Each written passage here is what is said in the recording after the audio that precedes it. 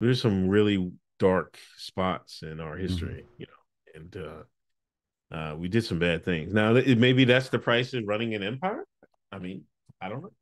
Maybe. Maybe. I mean, there's an argument that can be made for that. Absolutely. yeah. So, um, yeah, and all the time they try to kill, but also like some of their incompetence. Like, what? What did they? They tried to kill Castro. They what?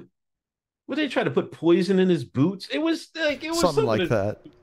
It was the, some of the dumbest stuff I've heard. I'm like, why would they even do that? Like, I'm thinking in my mind, like, come on, man. Of course, now I know why.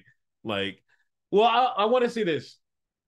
I think the Castro thing proved they're not infallible either. You know, I, I kind of we kind of get this like, oh, there's the Charlie boys and stuff like that.